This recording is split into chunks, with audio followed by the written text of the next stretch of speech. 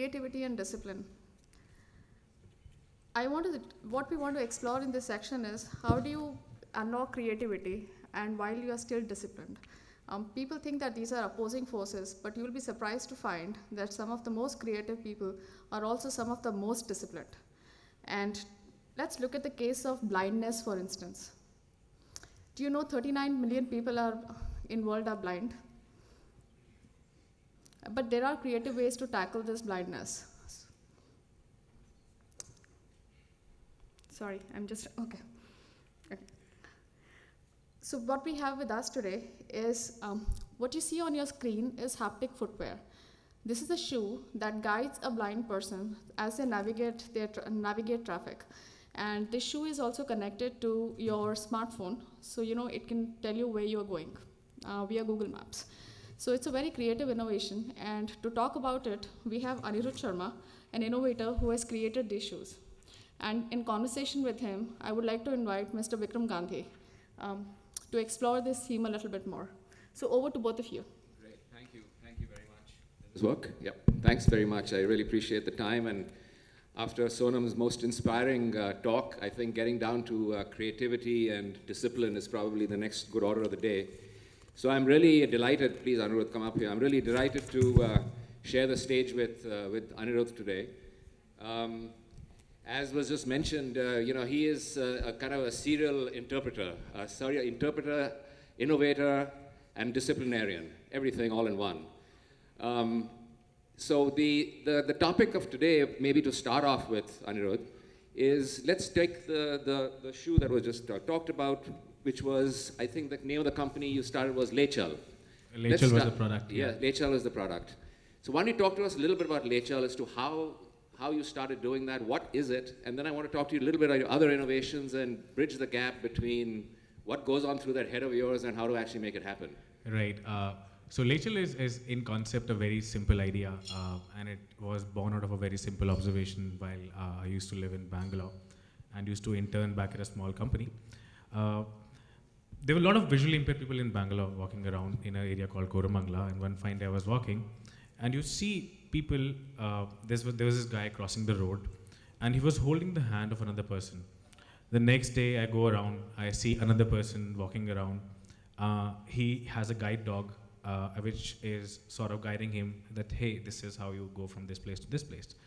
And uh, so these observations kept into, uh, I had the, I have a habit of, of making uh, design observations like, uh, picking out things that this is a design flaw, this is a problem, this, this is something that people are facing on a day basis, what can we do about it? And one fine day, we were sitting with a bunch of friends, we were like, hey, we have a phone in a pocket, the phone is vibrating, and it, without looking at the phone screen, you can tell somebody is calling you. It's a way of communicating information that somebody is reaching out to you uh, through a sense of feeling. Uh, that is haptics, like sense of touch. So we thought, what do visually impaired people have uh, that is better than the sense of sight? Like their sense of touch, their sense of uh, feeling uh, and listening is so strong that if we use them and, and exploit it, we can create something that can help them uh, go from one place to another. And, and it, it, was very random. It's like we're talking to a friend, okay, we said, what is something on your body that you wear on everyday basis that you don't change much? It's something like a shoe or, or a footwear. Uh, can we do something about it? So we took the vibrator, we, we take, took a cell phone, opened it, take a, took a vibrator out, put it in the shoe, and see how does it feel to feel a vibration in your foot. And we said, okay, it, it, it feels ticklish, but can it give information about person uh, uh, to the person that how to go from one place to another? So we made a first prototype. Uh, it the first prototype had these vibrators taken off from cell phones. And, and you just say, you want to go to Vigyan Bhavan front gate, and you are standing anywhere around. So it will vibrate in the foot and tell you which way to go from one place to another.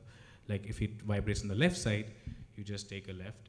Uh, if it vibrates on the right, some sort of GPS system. yeah, it's, it's connected to the GPS, so it has cell phone connectivity that talks to the to the GPS system.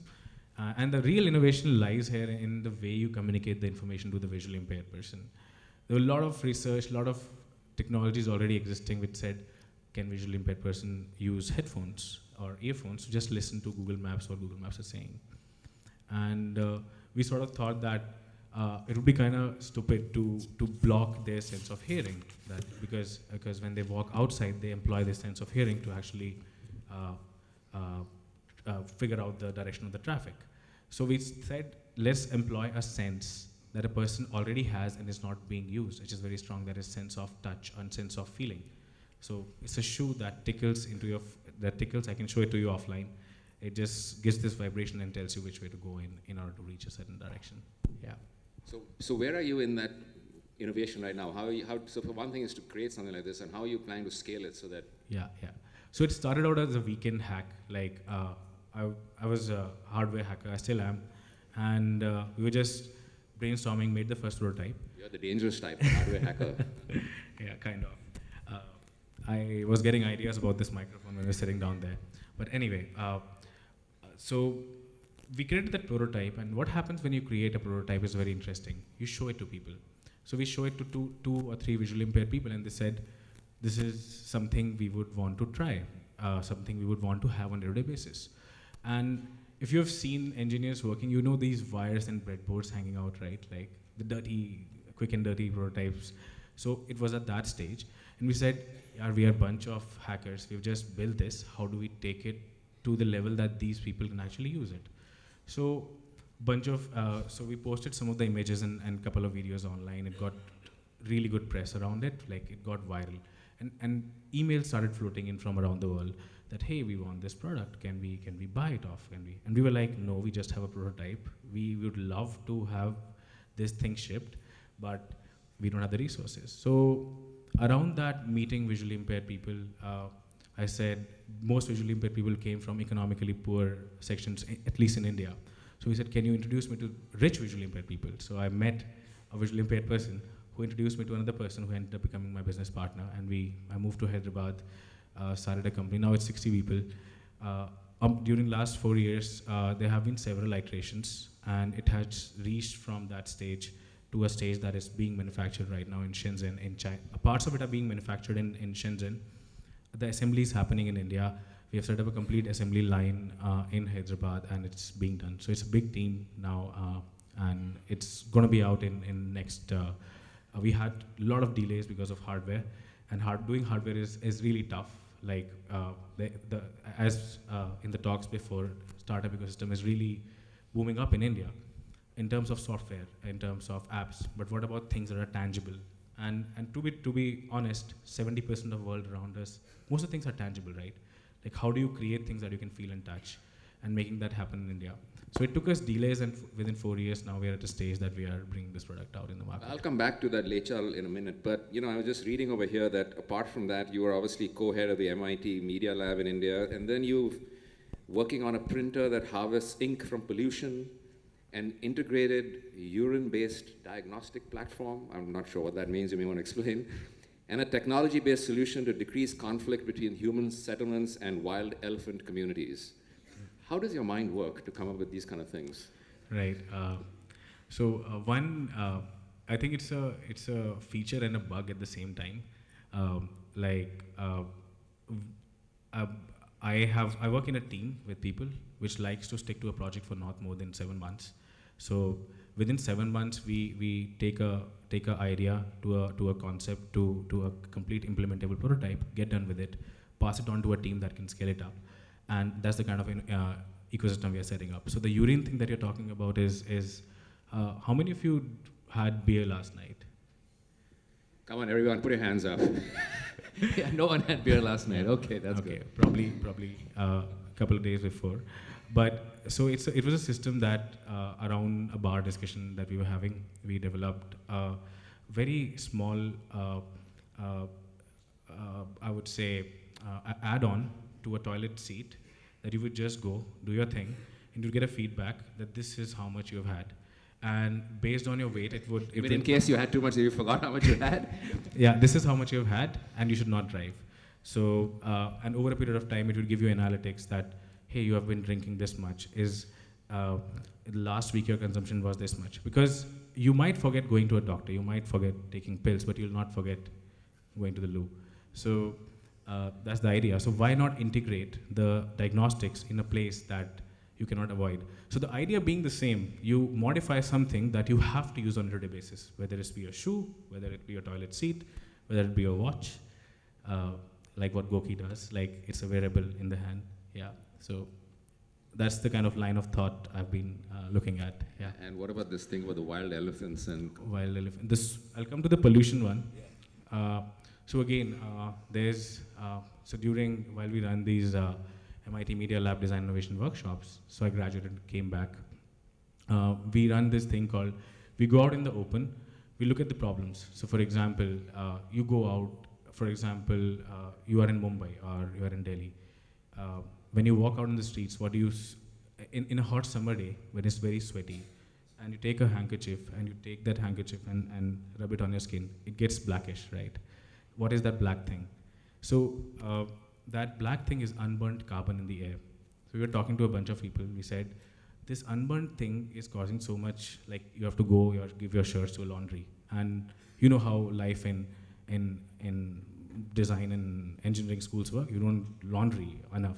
So uh, what we did was we said, okay, uh, when you go look at ancient India, and still people make kajal and people make ink by burning uh, soot, by burning things around you.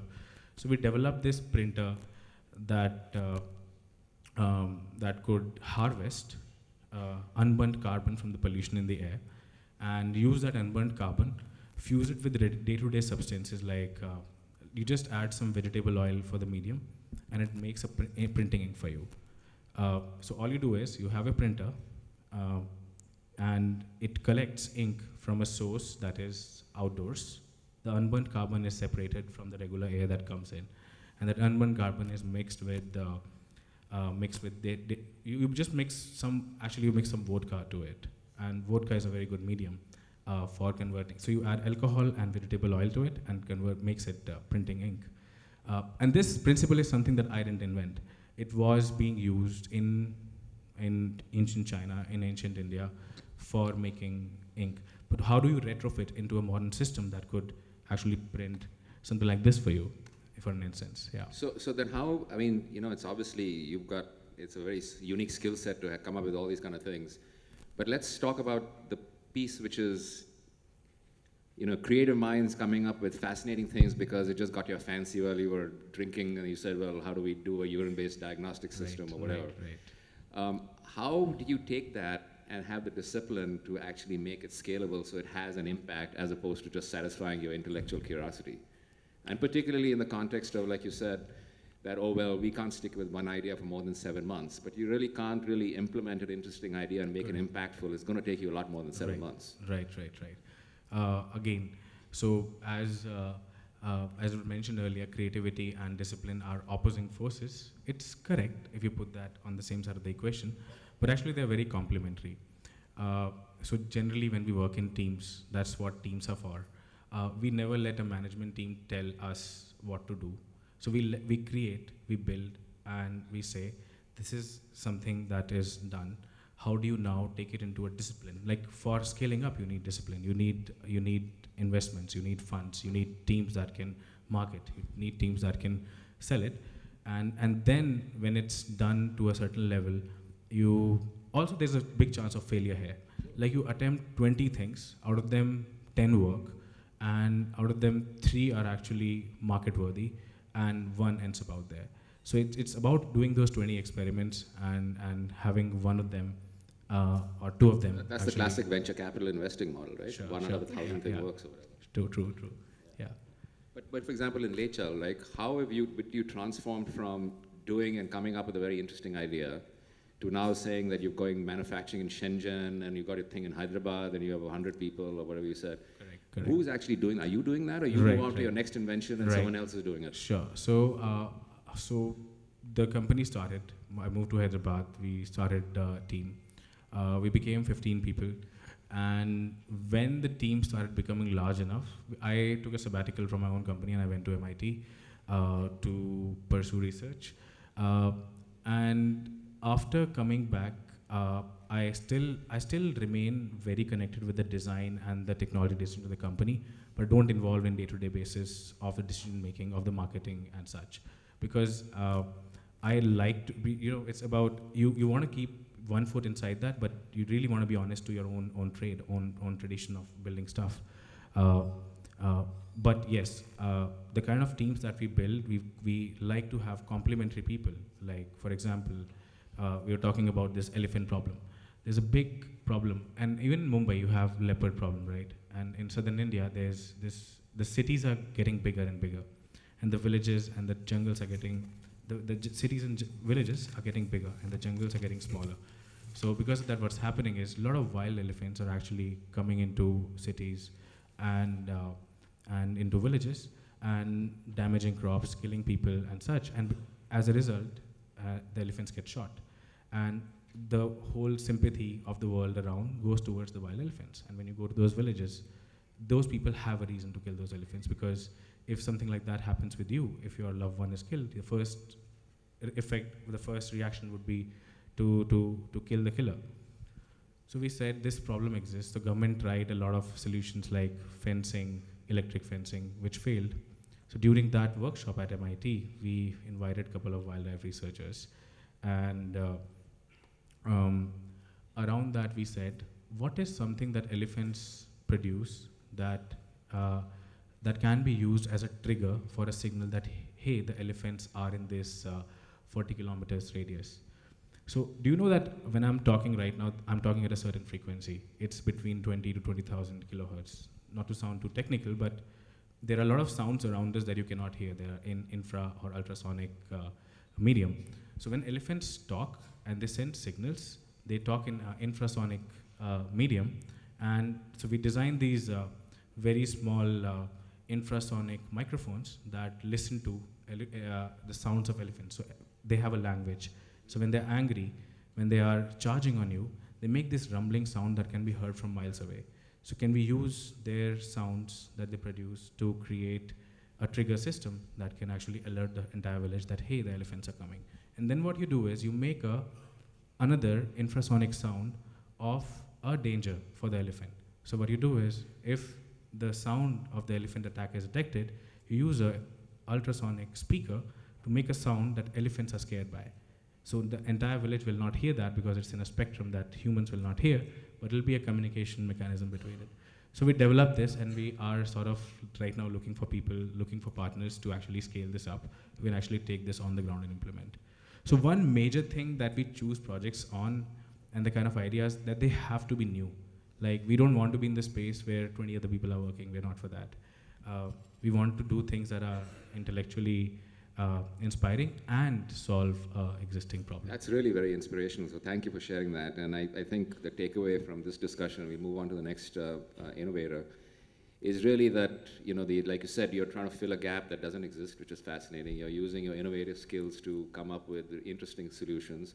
But equally importantly, which is what I guess this part segment was, that is to come up with you know different ideas and then jump from one to the other. But what you've done is been able to, or attempting to do, is bring complementary skill sets to really bring the discipline to make it happen. So congratulations, really privileged to speak with you. Thanks. Thanks, Anirudh. Yeah, thanks.